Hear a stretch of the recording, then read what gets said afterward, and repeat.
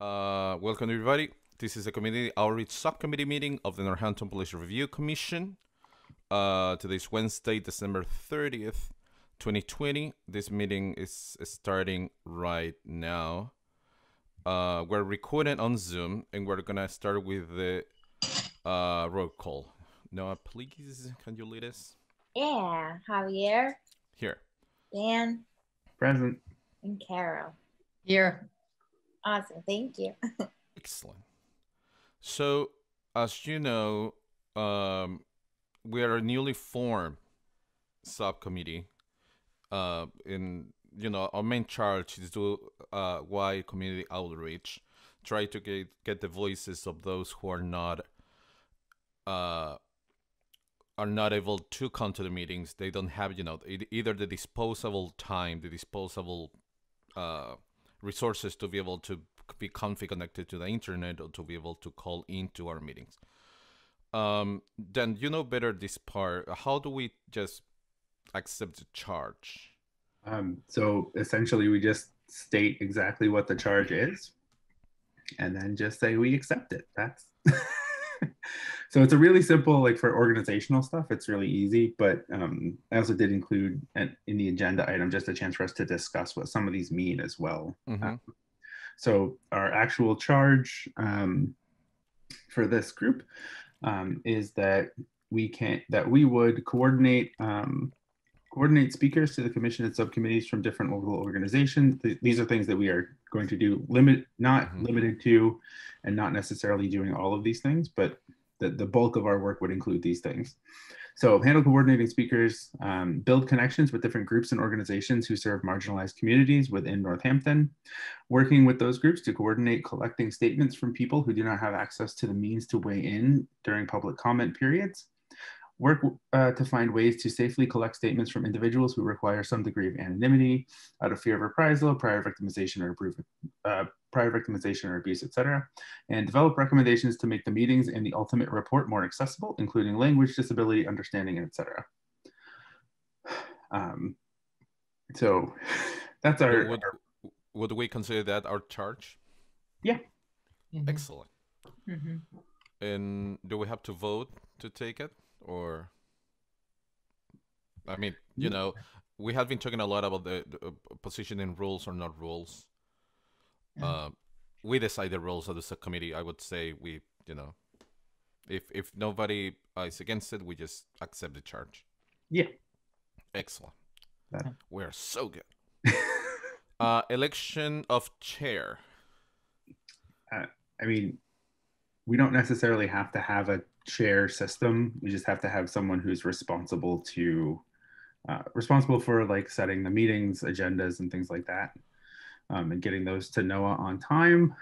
um, Yeah, I, I can I can do that. I know. Well, Dan, you're in a little uh, pickle right now, in relation to your co-chair of the full commission being gone, yeah, and and and Carol. I I mean, I know you're extremely busy teaching and doing a lot of stuff. Taking care of my heart. Taking, I, I was I was gonna ask that, but I'm Yeah. always co- self-conscious about this being recorded, so I don't want to sort of uh, just Yeah. ask for it. I'm okay. Just health issues. That's all. Excellent. So, uh, yeah, I would be willing to do it. awesome. Um, so, I do we- think we have to. I don't know if we have to because if it's not an official chair, I don't know if we have to call roll to elect somebody. um, I would like to nominate Javier. seconded. Noah. no, can you call roll for us? yes. um, Javier, Guess so. Yeah. Dan, yes. Carol. Yes. Wow. Okay. The Excellent. the role is accepted, I guess. Awesome. So, uh, discussion of charge topic. So then copy paste, copy it and paste the the the description on the chat. Yeah. Um, Um, I I I. So then, have you have you been in touch with future speakers? um, I've been in touch with a few different people. Um, so like on the fifth, um, Rachel Bromberg um, from the um, the Reach Out response, and she's the co-founder of. I'm forgetting the name for the international mobile response. I should really remember it. It's written down somewhere. Um, I have it, but um, but like just reaching out to her, um, and a few other speakers. Um, but it's also like trying to balance and like take into account like when the like the full commission says we don't know something versus when subcommittees say they don't know something and want to know and like trying to figure out how to balance when and where people should speak.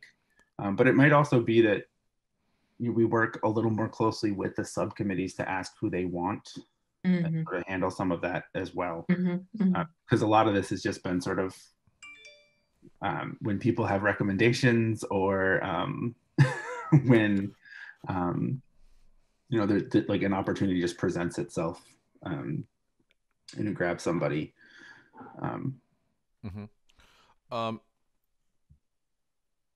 so let let me because uh, if if we, if if we approach from that point of view, I mean this would also would um sort of w- would be part of reaching out also if we want any city department to to come and talk? Or or that would still go through you? Yeah if, if people want to invite like the the city like city departments we can i mean we can reach out to them. I don't think there's anything that we would need to do that would allow or disallow that like for subcommittees or for the general commission.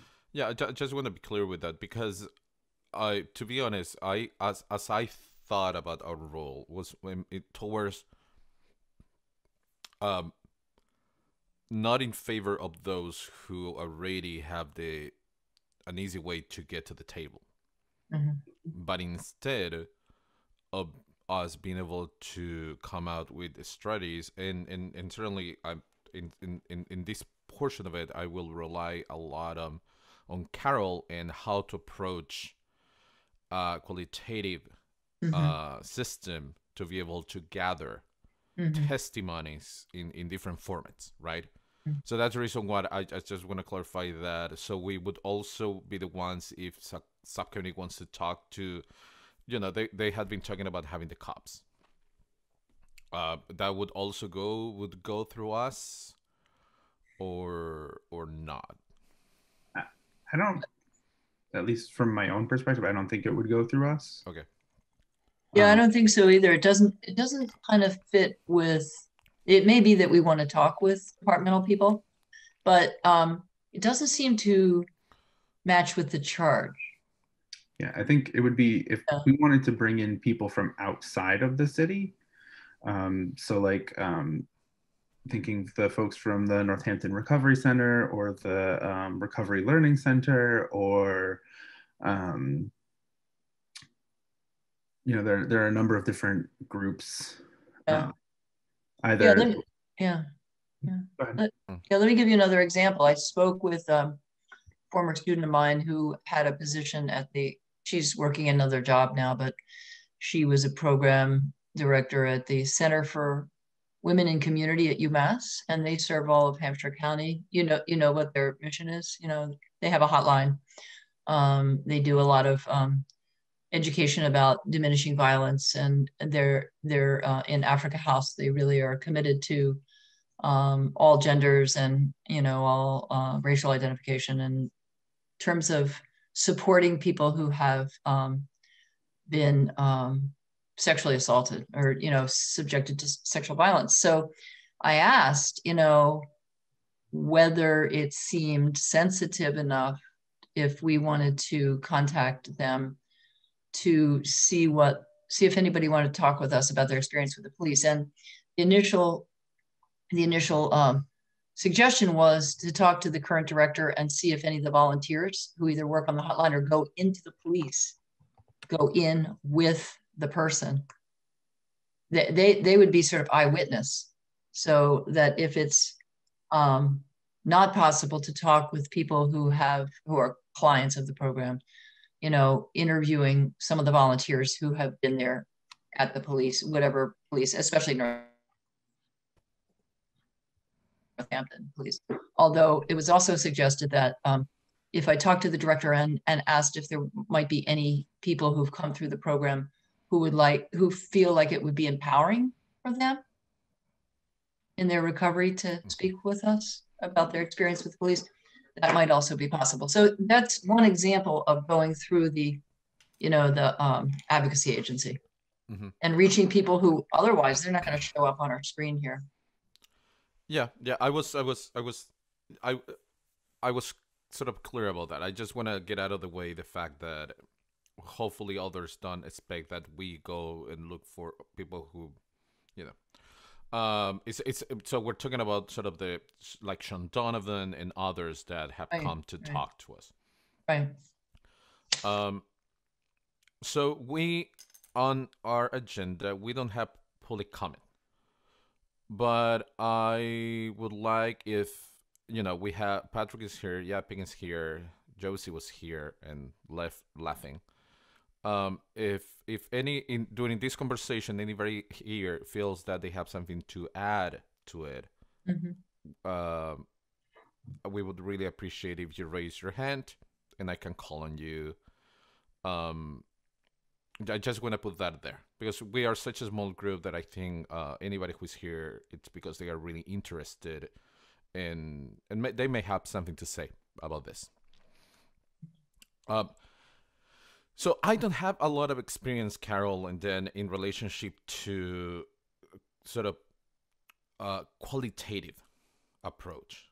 Mhm. so it's something that that I would like to get you guys your two cents about what kind of approach you think we can we can we can do, and also are we working to bring these testimonies to the regular um, uh, meetings in the in, in in if it's a recording uh, on the recording to play during the regular full committee meetings, or are we working towards the second big um, uh, public meeting that we're gonna have. So that's that's the things that I'm putting on the table for for you guys to to sort of Yeah. to give your opinion. I, mean. I would, I would say broadly and unhelpfully, yes.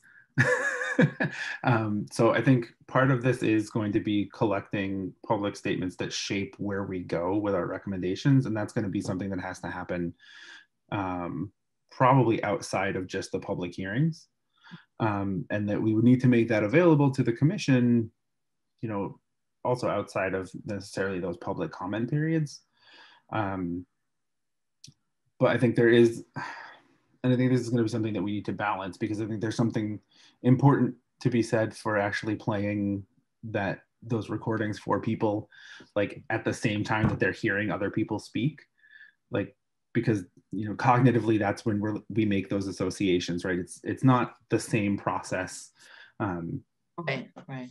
and and you know we weight things differently. Um you know that's just get the human computer interaction. We weight things differently when we don't see a person behind um behind them. So i think it's important to sort of have those maybe some of them or some selection of them or um and this is something that we did before where we um where sean spoke on behalf of a group of people and sort of gave the sort of the cliff notes of it right? He summed up you know here are the common things here's an example here's a common theme here's an example um, based on the people that he's worked with um, in his role. And so sort of there's that there's that part to it um, but i do want to actually make space you know intentionally for people to make public comment who are not necessarily who wouldn't do it otherwise and that could be um, you know it, it could be synchronous it could be asynchronous um, Mhm. but to really Yeah. to hone in on that Well, you know, there's another issue. When I have done studies uh, that are qualitative and meaning, you know, in-depth, semi-structured interview, it's not just a survey with question, answer this question, answer that question, just sort of building on it, letting the the informant or the interviewee guide where the questions go. Um, and then, you know, that's even recorded or that's written out in a, you know, like their testimony. But you know, when I've done studies, I've often paid people. And there's always the issue of how much you pay. I remember when I was getting my doctorate at BU, uh, the sociology department thought that I was paying too much. And I was like, what? And they thought that $30 for a two hour interview was too much because it was going to compel vulnerable people to become vulnerable in, you know, because I was paying them to be vulnerable. So they, they thought that was a little too much. They thought I should reduce it to 15, but I didn't. These were, these are people who were low income, who were very, very open, and they were also very gra- grateful for money. Now, Javier, earlier at the commission, you had raised this issue of um, reimbursement. So, I mean, is that something we want to look at here? Um, well, yes. So two things. So the first time that this came uh, as as as a as a conversation topic to the commission was that if we were having so this is the thing, if we were having people of color Mm-hmm. coming here, uh, somebody like Barbara Love or others that they have they not they are not only professionals and remarkable in their fields, but also they have lived experience because of the race, uh, skin color, that we should we should not expect pro bono. I mean, people of color they should stop having to have the the the duty of you know Yeah. enlightening others in their own Right, races, exactly. right? Yeah. Mhm. So, but this is this in in in from that to what you just mentioned, um, it's it's a complicated issue because uh, n- uh, you know because we we optics first of all. Yeah, Um, that's true. Yeah. we uh, the, the the fact that uh, if if we come with, I mean, optimistic. If we come with 50 well documented testimonies, uh, written testimony, audio files, even a video maybe, and those are have a tendency to one side. And those people were were compensated not because of the testimony, but because of their time that can be misconstrued. Yeah. and, Mhm. that, and that's that's one issue the second issue it's uh any any i- i- if you know we, we we're just starting to talk about it but if any kind of compensation is going to play that's something that needs to be dealt with the city council president and the mayor Yeah. And it, it- um and that's and certainly that's going to go through the city solicitor too Mhm. Yeah, and it gets a little more complicated because I mean we asked I asked about this so Dana and I asked about this pretty early on, um, and the response was basically the city doesn't have a mechanism to pay speakers, and it doesn't have a sort of like reimbursement mechanism. Mhm. Um, so like you know doing doing payment for taking part in a focus group or study, uh, doing interviews, all of those things. There's not a way for the city to pay for that by itself. Um, so at that point, things would have to come from outside organizations. Um, you can ask, you know, sort of like, could the city pay for childcare for a commissioner? And so we're going outside of the city to look for that funding as well.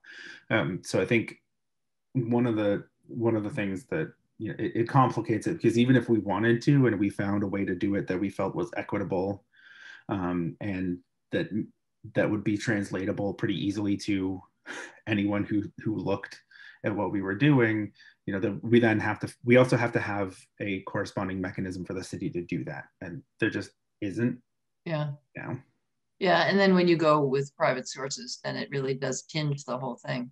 Yeah. Yeah. And and Great. and, and you know and and the fact and i just want to be clear with this and taking advantage that we are on record it's it's worrisome that the city doesn't have a system Mhm. Yeah. because from my point of view that means that either they have had all these experts usually upper middle class or rich white guys coming to talk to the city Mhm. so the issue has never been there. So this is the first time that we're Yeah. talking about Yeah. somebody serving in a commission that needs help to be able to take care of their children. We go back again talking about uh, privilege, right? and it's and it's even sadder from the point of view that I would like someday somebody in the, serving in the city council that raised the that has that problem.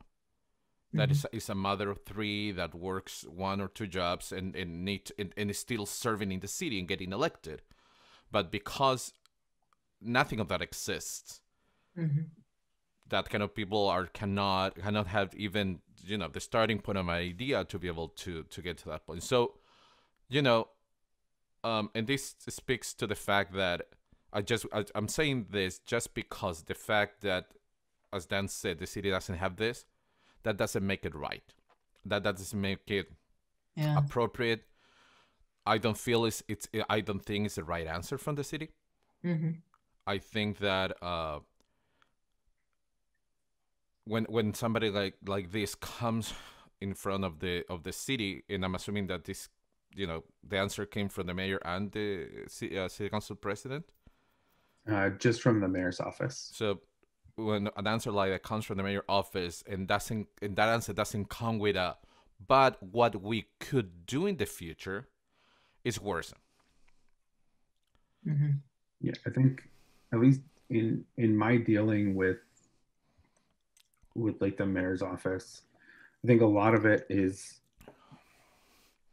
framing the the question and this is this is you know they're they're doing exactly what they're doing exactly what we're asking which is here's a question please give us a response and they give a response and i think framing the question i'm slowly getting better at this is framing the question asking for a response and assuming that the response is a negative asking what are the solutions and i think that's the process Uh, uh-huh. Yeah. because then then you know there's hopefully the the commitment because otherwise they're doing exactly what the bounds of their responsibilities are Mhm. respond Never any revisions. There's never any out of the box thinking. You know, something that occurred to me, Javier, when you were talking, is that, and let me just throw this out. I don't know whether it's possible, but putting an addendum, you know, there's so many interesting, provocative process issues that we are going to notice, this being one uh, along the way, that are unintentionally inhibiting of people without power or voice, preventing them from being in the narrative. Um, I wonder if we could just think about doing an addendum piece at the end of our study, like when we get to the final report. I, I think You know, where beautiful. where we address process pieces and stru- really this is a structural piece, right? Yeah. The structural piece in the study.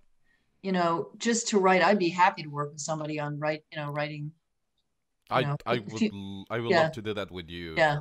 Carol. Yeah, and I, I and think I this- think and I think that's right. And Dan, I was going to say this is this is something you know similar to what happened earlier, where it was can we have translation services, and Mhm. there was a whole back and forth between like, well, no, we don't have that, and you can't use the funds for it, and then it became, oh, well, we do sort of have this other mechanism in place that we were planning on doing, and then moving forward. So like getting to that point, um, so having translation services and the live captioning enabled for some of those meetings and or the the sorry not live captioning but the live the live automatic transcription available and integrating those services. And um, so i think that's going to be a big part of what we end up doing no matter what we do as we're sort of poking and asking these questions is that you know hopefully that also leads to solutions either being proposed or being elaborated on that the city's already been working on um, and maybe fast tracking some of those things Yeah. so that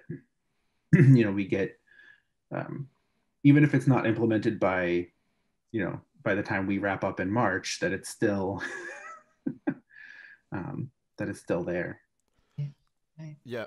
Do you two things? The first one is related to this, which is I think that addendum and or or even a separated brief Mhm. report about things uh issues that will run into it Mhm. Right. because uh, uh, being sent to the to the mayor and the city council i think would be important Mhm. um as i said time ago i mean i learned in chile i never learned this until i came here but early on when i came to the us i learned that because i'm a brown hispanic man with an accent and I get pulled over by a cop, my hands cannot leave the steering wheel. Right. right. But that's something that I know, right? That's something that people, men of color know, women of color know. But th- that's something that a, a, a white dude doesn't doesn't necessarily know.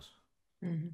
So I think that first, uh, sort of as as more addendum would at least uh, deliver the information that people looks like it. I'm operating from a place of good faith. They are not even thinking about, because for me it's extremely difficult to understand how the city doesn't have Yeah. uh, the, Mechani- the, the services of translation and and the, and the subtitles and the, and the all the text thing already going on from years. I, I it's, it's hard for me to understand why. Mm. Because it's not that we came here and we sort of revolutionized how we see things. It's it's it was obvious from the get go. Um, but I think that's good. And the other thing is, I was thinking about going back a little bit to the topic and how how do we bring those voices and how more how we bring it how we present those voices in front of the commission um maybe one of the things that we would like to we want to do and this is a question for you too is that in the same way how we have a repository for documents every time that we present a, a, a testimony either written video or audio is presented for the first time during the structure public comment or the big public comment meeting but that testimony gets added to the repository in a specific folder so Mhm. if anybody in the commission wants to go back to that testimony would be able to do it later but i like the idea in what you said dan uh, in relationship to there is nothing as to listen in the moment in the context um and and you know and you know people send sometimes their meetings go in some direction after they hear somebody talking about certain things in certain way Mhm. Yeah. so I, I think that would add some value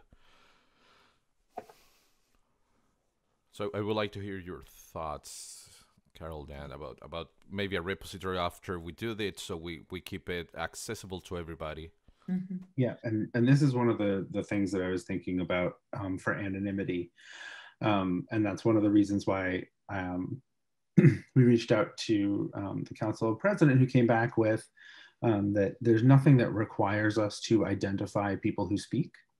Um, we are not the city council, so we are not bound by those same rules. But that you know, the the less you have for identification, the more the more opaque it becomes, the less accountability there is, and there's there's concerns about legitimacy. Um, but I think we also do need to balance that, you know, the that there is a real fear. I mean, beyond just ability, that there's actual fear of reprisal, right? Like the Northampton police have a lawsuit that's current, like that that was just filed a little while ago about reprisals from someone who was trying to hold police accountable and recording them Mhm. Mhm. with with his phone and him being as a black man being harassed uh, um, pulled over frequently um, there's also um, another case that's a little older um, where um, a person who brought a suit against the city and against the police department um, reported being harassed by the police repeatedly um, being followed um, having officers come up to his camper um, and disturbing him things like that so like th- there's a even if it's not necessarily an actual um, practice, those are those are both allegations. There's nothing that's been like proven, but just the allegations themselves Mhm. may lead other people. You know, if it was just me, I'd be like, well, why do I want to? I don't know if I want to talk about my own personal experience with the police and have them, you know, then do the same to me. Um, so thinking about what we, um, and this is one of the agenda items, is just like well, we have to talk about anonymity and decide what a policy is for that, um, or what options we're giving people, and what level of anonymous are we saying, right? Because we can, we can obviously just not include a name, and we could have some other identifier um, for these people, um, but you know, if they're giving examples, if you know, are we also using video, but but blurring faces? Are we, you know, distorting voices? You know, th- there's there's also levels of anonymity that we also have to consider. But I I think one thing, and and um, Noah is now in charge of our uh, shared drive. I think everyone got an email about that, so we should have all of the documentation and things. My goal was also to have that as a publicly accessible resource. So something that any member of the public can look into and see. And so if we had a repository of those um, of those recordings, I would love to see it there so that it's maintained. It's maintained by the city. It's in a space that the city maintains, and that will go on indefinitely. Um, some of the other things, especially because if we have recordings of the we have recordings of the public hearings, we have recordings of the commission meetings and those public statements. So those are all recorded somewhere and publicly accessible. That you know I would like these to be included in there saying that these voices are equal um, to these other people. So my hope is that it would be um, publicly accessible from the get-go, but it's also taking a while to, to make sure that we have a space on the city website for it and that we have a, a means to share these drive, like these drive files publicly, um, given the structure of the city's file storage system. Mm -hmm. Are you seeing something like more of a podcast rather than a video?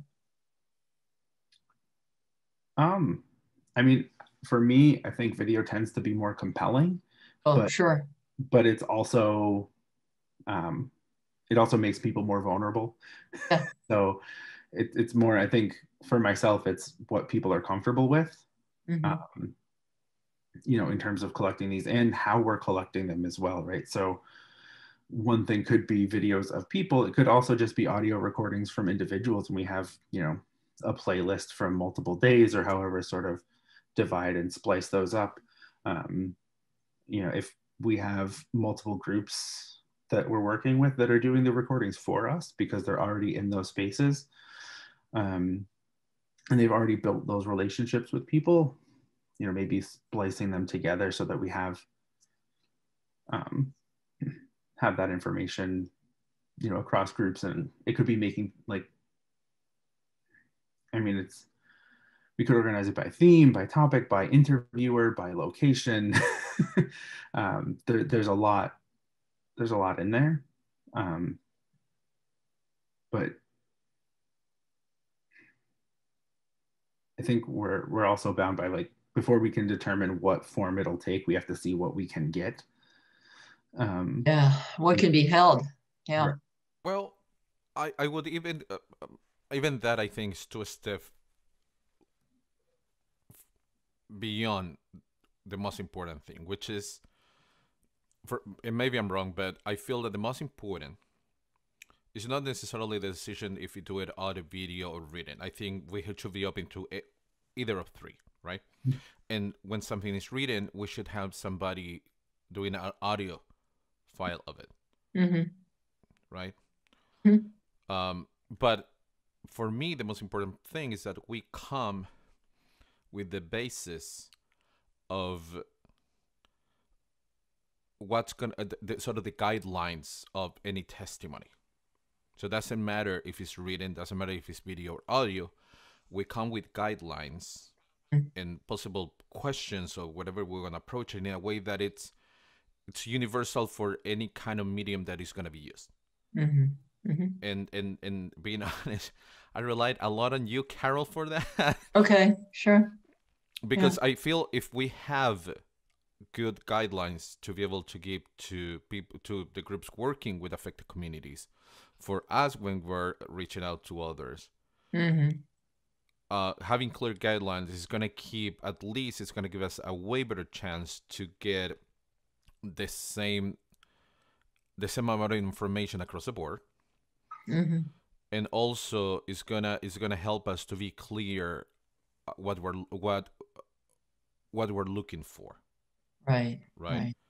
so I, I feel that the most important thing that as, as a commission we should do first is to lay out the foundation a foundation document one pager that we can give anybody we can give to sean donovan and he mm-hmm. will read a, a paragraph a, a specific bullet points, and that's gonna lead a testimony.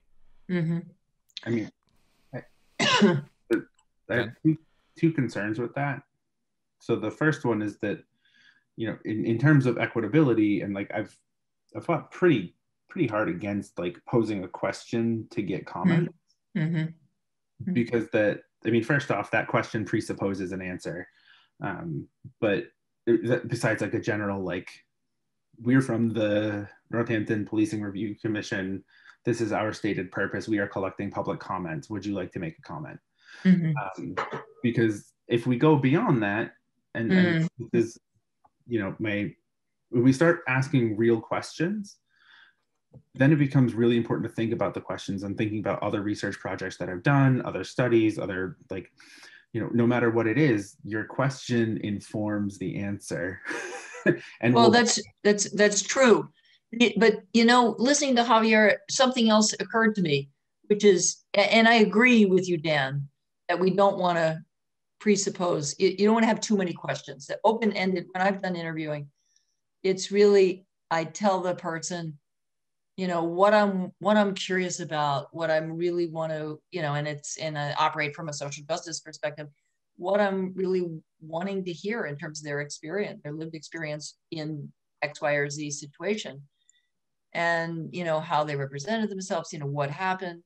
And, you know, so it's very open ended. But one of the things you said about a framework, I it occurred to me that not from our perspective as the data gatherers, but from the perspective of vulnerable people, it's pretty, I think it's pretty important at the beginning to tell them some parameters where we're not expecting them to go deeper if they're not wanting to, more personal. It's protection for them too, because when I when I resettled refugee youth here and did interviewing, and believe me, those folks who had lived under the Pol Pot regime in Cambodia had some horrific survival stories to tell. We said, my former boss and I, uh, we're both clinicians. We we knew that a in that instance we had to debrief with them we had to find some we fed them and we had to have some debriefing about how was it to talk to us about that um, i don't think we have to do that here but i think it's probably good at the beginning to make a comment about you know we absolutely value the fact that you're willing to talk with us you know because we are interested in your experience. We only have our own experience. But you know we we caution you to share only as much as you feel is okay under the circumstances so you won't overwhelm yourself because when we're done with this we may not see each other again. Um, and we really want to honor your story but invite you to not completely destabilize yourself or, or go back and revisit your trauma um, because of our asking you to share with us so please consider the depth of what you're willing to share here. So I think some framework like that is probably good.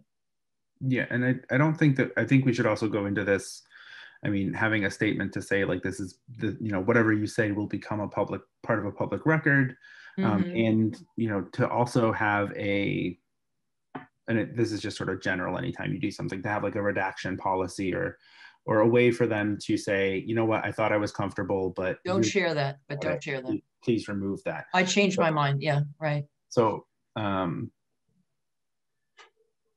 So Happy when I so when I was talking about uh, uh the doc, this is, this is what I was talking about, like questions.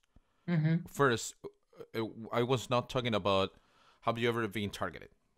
No, and in fact, one of the things that I have been promoting, Dan, is your idea of mm, rather than question a narrative, right? But the question that we have to ask are this is this is are the three things, three ways that this is going to be shared. Are you comfortable with that? hmm hmm Right. and that's something that needs to be in a one pager for anybody Mhm. who is going to do it it has to read the person the the, the first paragraph and and the first uh t- it's going to be as you said it's going to be public record it's going to be read in, in a meeting and it's going to be stored so are you comfortable with this Mhm. and the reality is that you know sadly probably after after you read that, a lot of people are not going to be willing to do it. But we have to be transparent with that, and I and that's sort of the, the question that I was talking about in in a one pager, because at the end of the at the end of the day, after you're done explaining what what it is, the how it's going to be chaired, and you start a conversation after that, the interviewer doesn't do anything else, Mhm. pretty much. Mhm. So, um, and you know, explaining the, the nature of the commission in really simple, in a really simple two sentences, and and and setting the context. Uh, so when when we ask if they if the person feels comfortable moving forward, giving their own narrative, it's just them talking about and having in mind uh, what the commission is doing, right? what is complicated and for me i'm still having an ext- extremely hard time thinking about it. We are in a small city.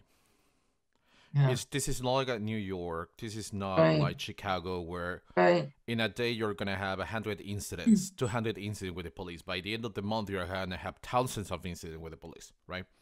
So even my concern it's and i i i sort of that i still don't know what to do. It's even when we're not using names even when we're changing name of places because of, of, of the of the number of incidents would be really easy for a police officer to figure it out Oh, I- Identify. yeah Identify. it'd be extremely easy Mhm. and that's that's one of my concerns and i have been thinking about, about that in, uh, for my life i i honestly i haven't come to a place that i can have i feel confident that i have an answer to that Mhm. Mhm. Yeah, I mean, I think at this point it's going to be a lot of sort of a lot of sort of finding people who are willing to engage with that sort of that risk. Um, I think we could,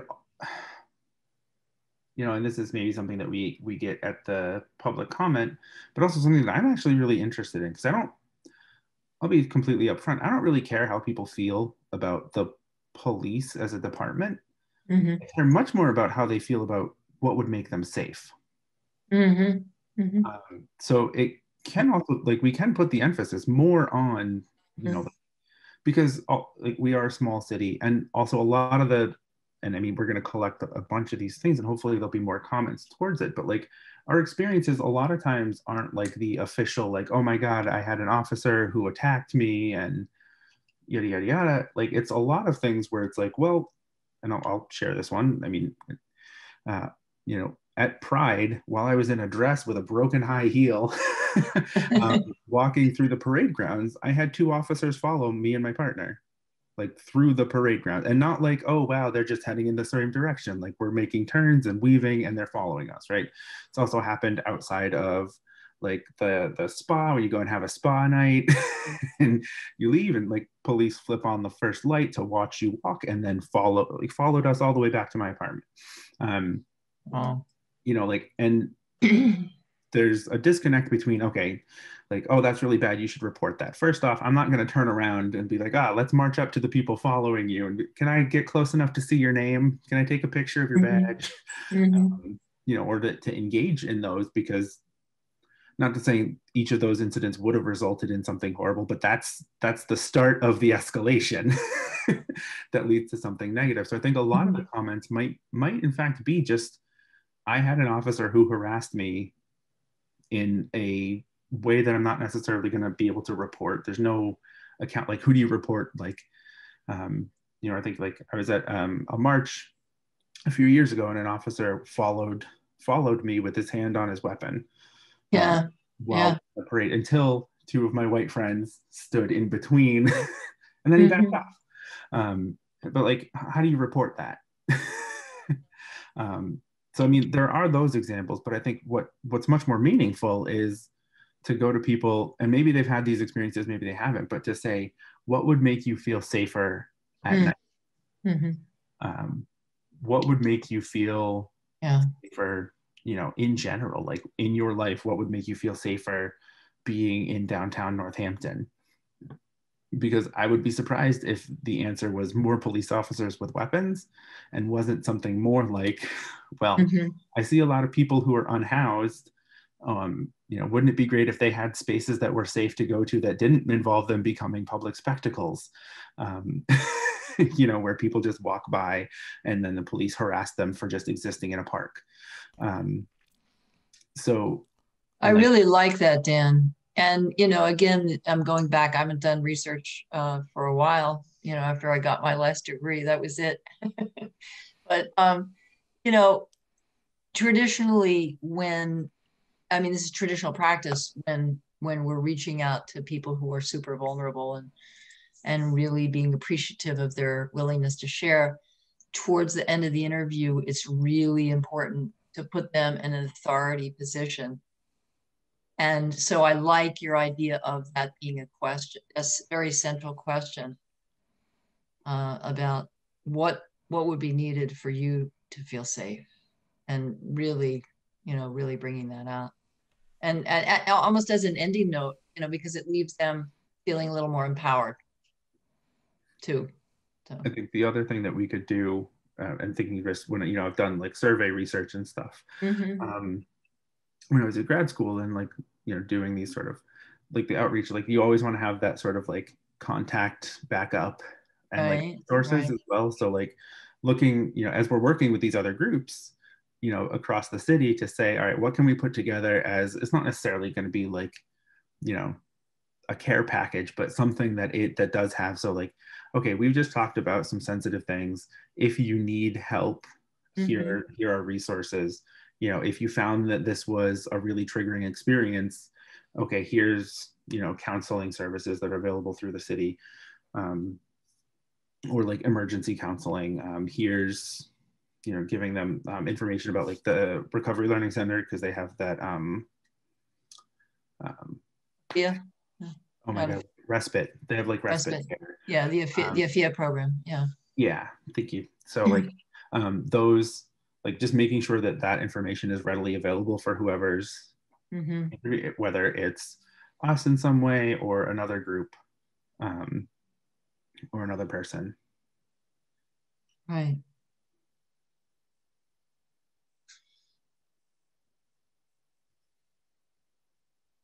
Do we know when the next uh public um how you how we call it public speaking meeting? Public or- hearing. Public hearing, we don't know yet. Okay. So as we know, we cannot work collaborative on a document outside this meeting. Right. Every time that I think about that, I remember Alex. So, um, I would like to propose, if that's okay, Carol, if you can have the first bite of it and maybe draft something, and we can take a look in our next meeting. You mean you mean what we have? Yeah, uh, I mean, sort of a one, sort of a one, yeah, one pager. what we that- discussed? The issues we discussed tonight. Yeah, I mean, mostly the one page. It's sort of a one pager Mhm. um, sort of a, a starting point for the draft of the one pager that we can give any we can use ourselves or we can give to any uh, like Sean Donovan or Jose Adastra or anybody who is actually working with people affected, Mhm. Mhm. and they would be able to use that to um to the to you know to create the content that we would need to be able to to have those voices on the table. Mhm. Um, do, do, it, it, would that? Well, I think that's a great idea, and then we could get feedback from them. Yeah. Yeah. So if it would be okay for you, Carol, to have the first, the f- Sure. sort of Sure. Just with it? uh just the what our intention is. You know what our what the protections are around. Yep.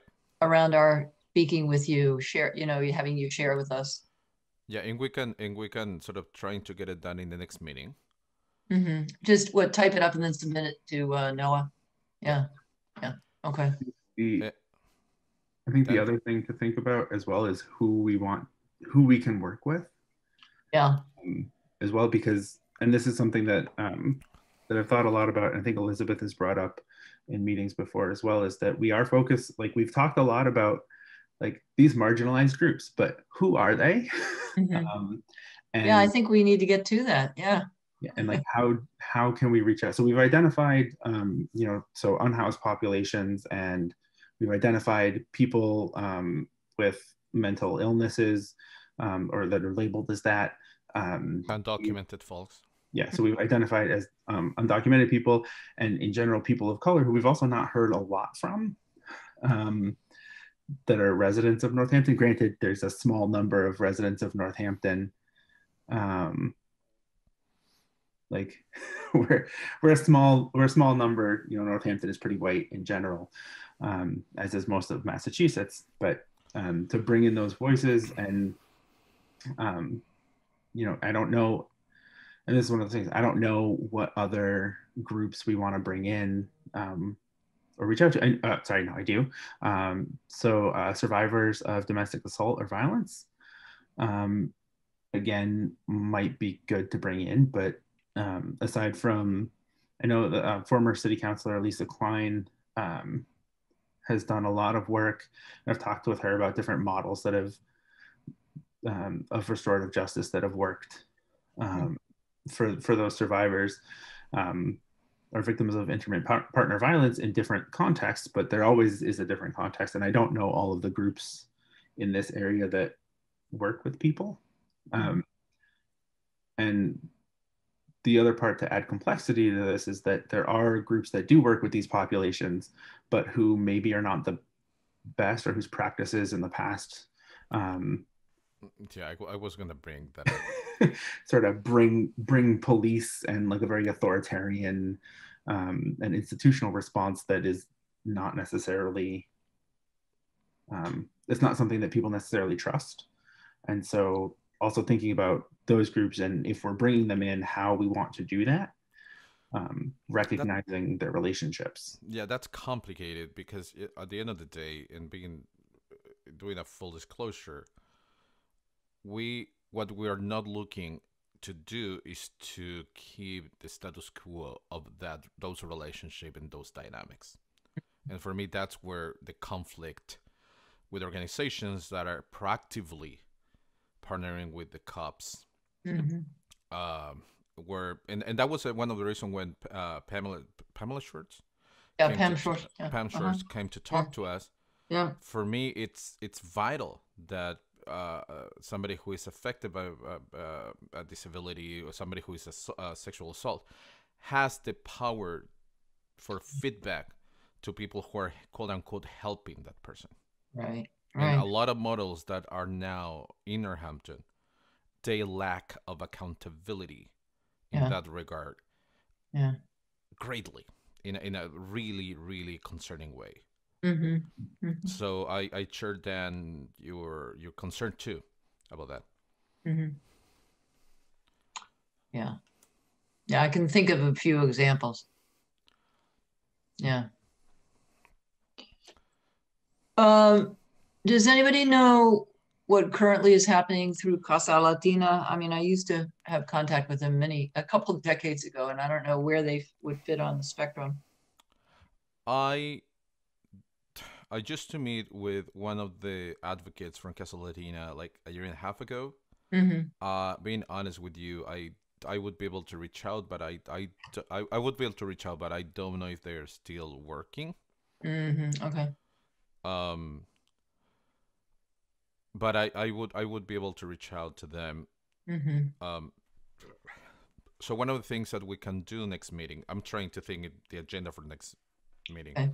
Mm-hmm. would be having uh, sort of report back from uh, uh, each of us about th- which organizations we think Uh-huh. in Northampton we should uh, reach out and, and sort of partner with them, including activists, not just you know, uh, including individuals doing this work by themselves, and organizations that are in line with not uh, just reenacting again and again and again and again the, the Mhm. pervasive system that we have nowadays.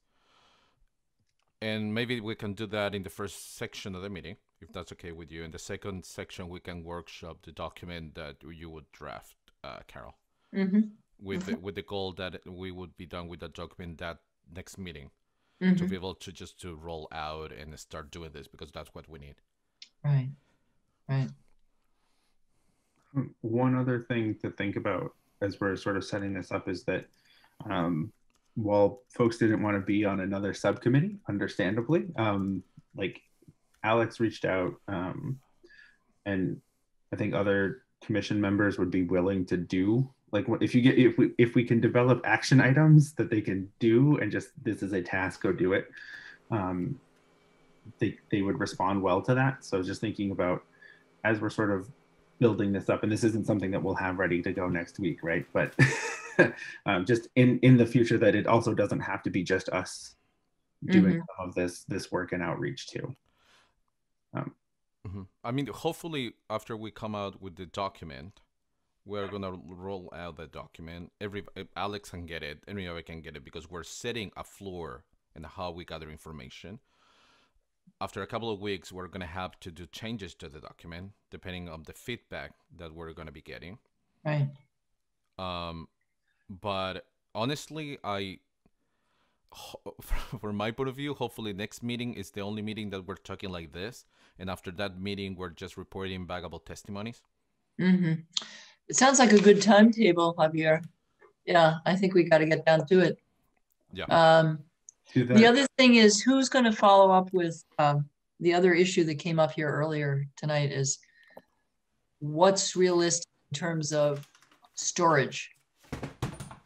You know, the tech, the tech part. yeah so i can like That's you. Is that you, Dan? yeah. i mean whatever we whatever we come up with um the only thing that we'll need and this is something to think about is that for the anonymity Mhm. um we need to for just just the commission's use so something that's not public is we still need to track who said what um in case somebody makes a statement and it's anonymous so we de-identify it but then they later go, wow, you could really tell that that's me in that story. I'd like this removed. Mhm, So we know what to go remove. What, what piece we need to get out of there. yeah. Right. So um, thinking Well, we could give numbers, you know, you can identify, you know. Name and a number. yeah. So um, and, and that's something I'm comfortable with. I could write up that sort of like Right. how. Yeah, this is how we're gonna do it. Well, we, we would share that with the informants then, too. Yeah, Yeah, you're gonna become a number. And that's your protection, yeah, Right. Unless they want to, you know, unless they want to have their name Yeah, right. of it as well. right, Um, right. the other part like we could store things we can store the data i don't believe there's a data cap so i mean we should be fine with whatever files we come out with. Mhm. um, i'll work with noah a little bit because they've um, interacted with the city on like having a space on the website. And i've got an email out already to um, the solicitor and um, to the mayor about sort of like wi- um, how we could make things publicly available. Is there any limit to what we what we do for information that we share out? Um, just to make sure all the i's are dotted t's are crossed. Um, Yeah, so that's already underway. Um, we do have the ability to just um, as a body to determine what we expect in terms of anonymity. So um, are there consider do we just want to say anyone who asks to be anonymous can be anonymous. Do we want to say that there's a threshold? And if there's a threshold um, you know do they have to cite why? Do we need that? Um, i'll be honest i'm not super comfortable being like the arbiter of like the arbiter of need for anonymity um, because it's such a subjective thing if we're interpreting right, um, that but at the same time you know we do have to balance transparency and accountability so what are the ways that we want to do that yeah. Just asking people, how do you want to be known here? Given, given, given, given that, uh, what were the three points, Javier, that this is gonna become a public record? That it will be sh- stored, Store and what was the third one? play record store, uh, and either read, Mhm. played publicly. Right, because public record becomes like as this. This is this is this is at the end of the day will become public record because we would, would be uploaded to the city's website and blah blah blah. Right, would be kept, but um, whatever they do will not become public record until it's read, Mhm. played in front of the the the the uh, full commission or subcommittee. Mhm. And also, you know, we, we need to be extremely transparent with them. Mhm.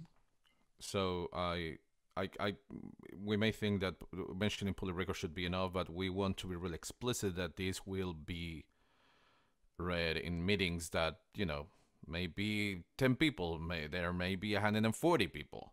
Mhm. So I think as as much as we do that, the better. Even though you know, because we're gonna do it, there are people who are ended up after reading that list, they may opt out of it. But and and Yeah. and I and I do agree with you, Carol, that as long as anybody wants to be anonymous, they can just opt into it. Mhm. Mhm. Um, and and and one of the things that we need to do it's to be able to to keep ba- that balance is to address the fact what you you Dan said about the narrative, and what at the end of the day why would they need to to be in a better situation to not don't do not feel threatened to not have to run you know Mhm. uh, be harassed and all that.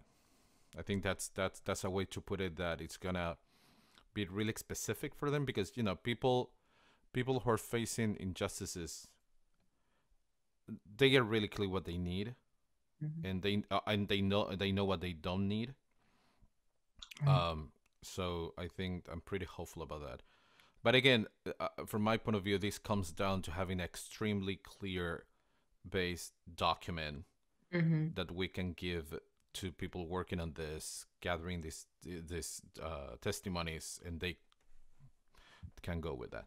And and we're gonna have to review it after a month. We're gonna have to review it again. Mhm. Mhm. I think the only thing to, to note that I, because I, I like the idea of asking questions. I just want to be really, because we don't ask questions of the public comments. Right. Um, and so like, I mean, I think we should still preface what we're doing. Um, Mhm. because, you know, the people at the public comment period, if they've joined Zoom, they know they've heard us speak, they know sort of what we're doing. And even if they've never joined before, you know, they get that preamble of who we are. um, and they hear other people's comments as well. Um, and that helps them formulate their own. So I think I'm just I'm worried that if we yeah, I'm wor- I'm always worried about bias and I never have good answers. um, you see me like, mulling over which way a- um, which way a scale should go, It should be presented, sort of like going back One, and forth one to 10 or 10 to one. Yeah. Yeah, because you know no matter what you do, Yeah. whatever way the left hand is always the bias, right? Mhm. um, and it happens no matter what. And so, but like the same thing with how we ask, how we frame these, uh, it's going to bias the responses. Um, maybe not in a significant way, um, but just just thinking about how we can do it where there's the least amount of influence while still giving them enough information to know what we're about um, and what you know what the purview of this group is. Mhm. Mhm. Well, you know, that raises a question for me before I draft this one pager. Um, I don't have any problem with with doing a, a really introductory several sentences about why we're seeking testimony in the community, why we're reaching out. But is there any way in which you would like um,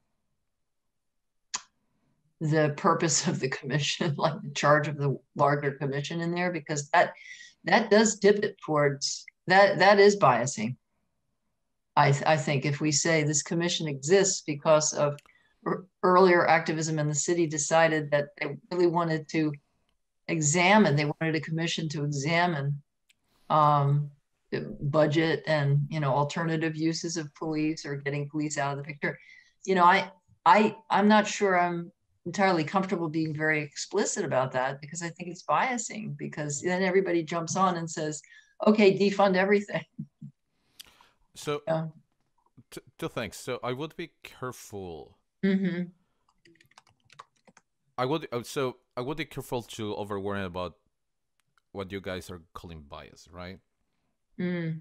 You know, um, we can come with the best question ever, hmm and we're still gonna find people who can complain about it. hmm Um, and two, Carol, and, and and I may be wrong on this, so just correct me if I'm wrong. So, I wrote in the in in the last because we were the only subcommittee that showed an actual document.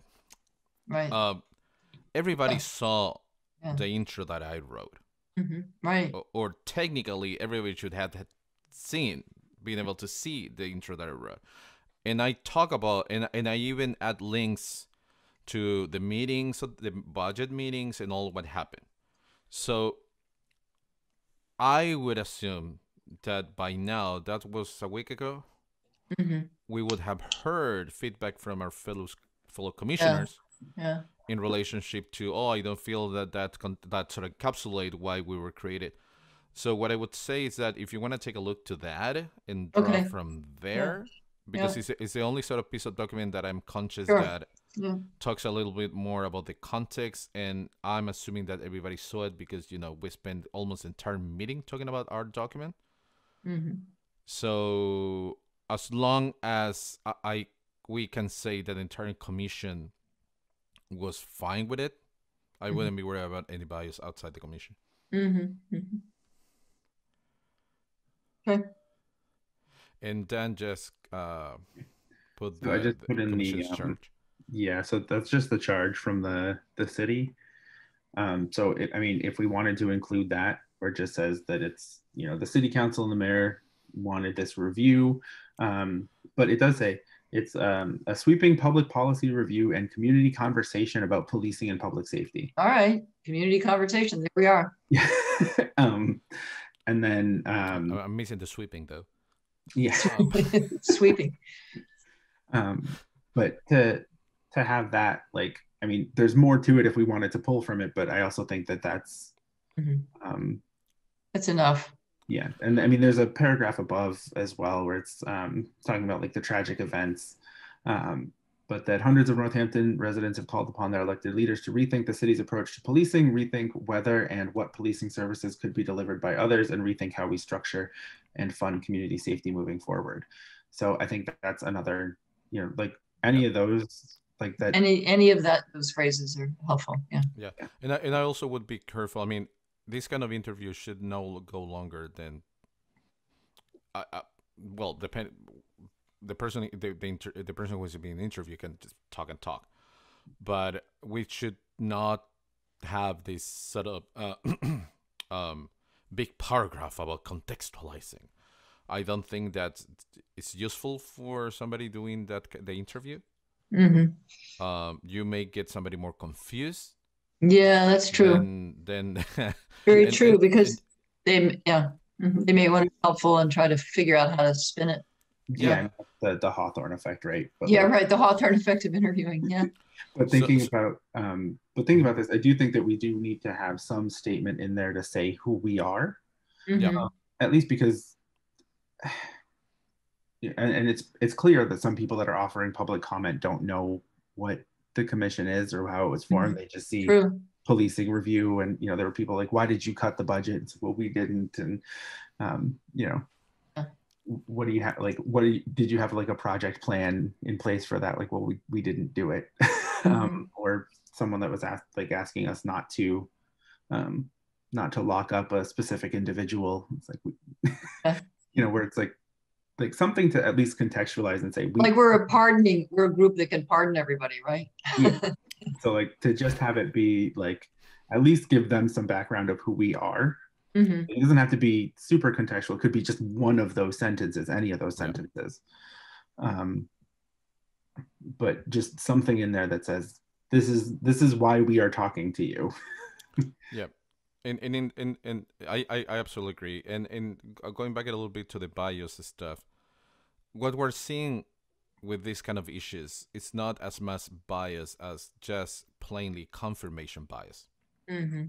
People Mm-hmm. just having their judgment and just taking whatever fits their judgment and just leaving everything out. So I I fi- I I'm saying this because I find that we should not take that in account at all.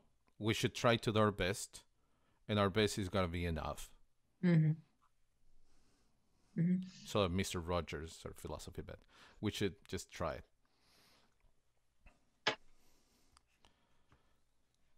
Cool. So I want to do a time check. It's 8:51. Mhm. Um, I want to open the floor a little bit for Patrick or Yaping if you uh, have any comment for us.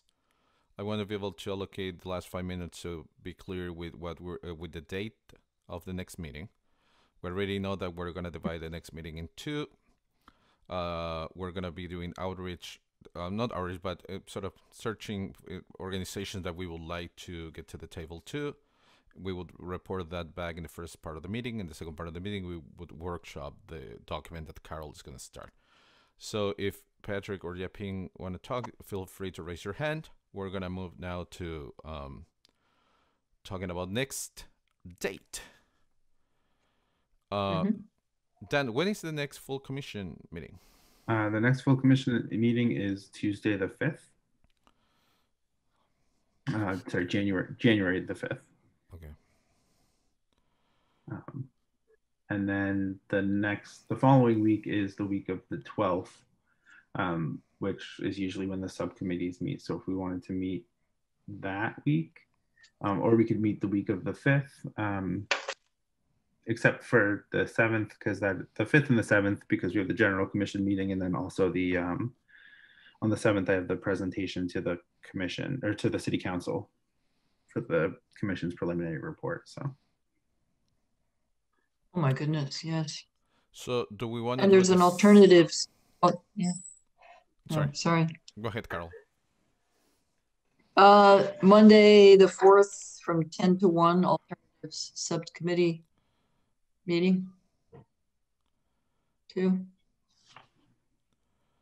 Yeah. Yeah, The uh, policing uh, policies and services services committee meeting on the 12th from 7 till 8:30. Mhm. So what about Monday 11th?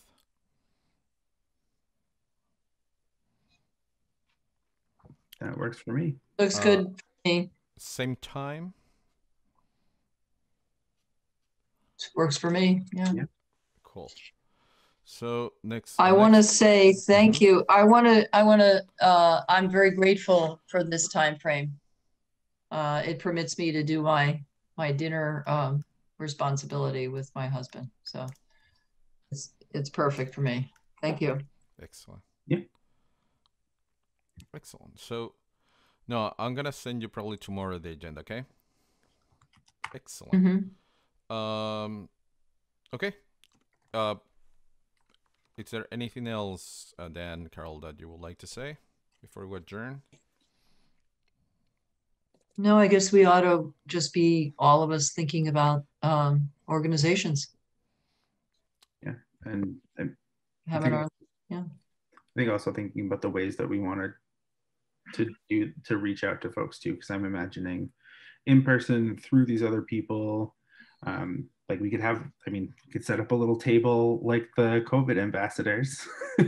I don't mind. I'll sit out in the cold for a little bit um, and reach out to people, but also like if we wanted to do things, you know, do we want to have a survey um, as well, and how we want to do that? Um, so a digital space in addition to a physical one. Mhm, mhm. So I'm Okay. looking for motion to adjourn. Motion to adjourn. Second, Uh, Noah. Javier, Yep. Dan, Yes. Carol. yes. It's my favorite one thus far. Yeah, that's great. Yeah, we're, I'll tell you, Javier, you keep it. You keep, you keep the organization. Yeah, you, good. Uh, Without, without shutting anybody off. It's, it's, it's an impressive, impressive act. Okay. Cool. Take care, you guys. Take care, guys. Bye, Bye-bye. everybody. Bye. Bye.